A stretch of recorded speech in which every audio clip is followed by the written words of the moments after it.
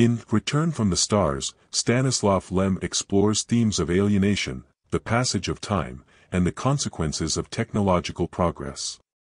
The novel follows the astronaut Hal Bregg, who returns to Earth after a 10-year space mission only to find that, due to the effects of time dilation, 127 years have passed on Earth. The central conflict in the novel arises from Hal's struggle to adjust to this radically transformed society, where the world he knew has become unfamiliar, both technologically and culturally. The novel's strength lies in its examination of how technological advancements can reshape humanity and human nature itself. Upon his return, Hal encounters a society that has fundamentally changed its relationship with risk, violence, and even emotional depth. The world has undergone a process called betrization, which eliminates aggression and the desire for risk through a medical procedure. This shift has created a peaceful society but one that Hal finds lacking in vitality, courage, and the essential human drive for exploration. The people around him are no longer capable of experiencing danger, and this alteration extends to their attitudes towards space travel, which has been abandoned as a result of these societal changes. Hal's longing for the sense of adventure and purpose that defined his previous life becomes one of his primary sources of alienation. Lem uses Hal's disorientation to reflect on the potential dangers of a utopian vision achieved through technological means. The society Hal encounters is one where suffering and conflict have been largely eradicated, but at the cost of ambition, curiosity, and even emotional richness. The humans of this future are content but complacent, and Hal views them as emotionally sterile. Through Hal's perspective, Lem raises the question of whether the elimination of suffering might also strip away some of what makes us truly human. The world Hal enters may be peaceful, but it feels devoid of the passion, risk, and intensity that he associates with human existence.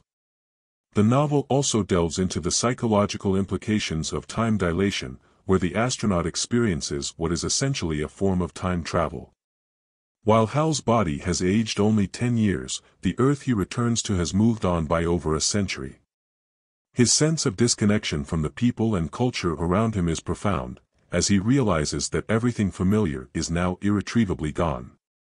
Friends, family, and the world as he knew it no longer exist.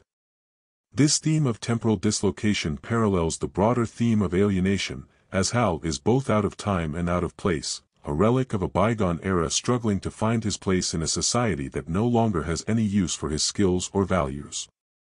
In this future society, not only has technology reshaped humanity, but it has also redefined concepts of existence. Hal's difficulty in reconnecting with others is not just emotional but also philosophical, as he questions what it means to live in a world without conflict or risk.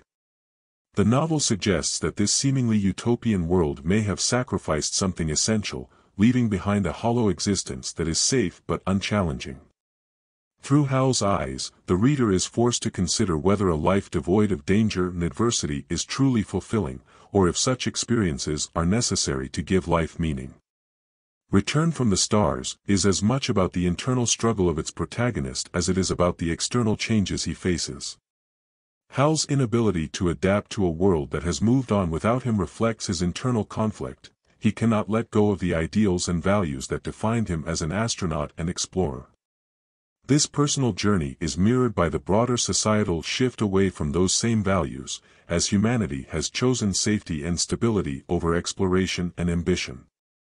Stanisław Lem uses Hal's narrative to pose critical questions about progress and the cost of utopia.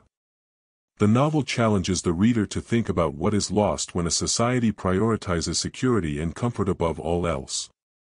It forces a reflection on whether human nature is fundamentally tied to conflict, risk, and the unknown, and whether a world without these elements can truly sustain the richness of human experience. Through Hal's eyes, Lem paints a picture of a future that is peaceful yet stagnant, and asks whether such a future is truly desirable.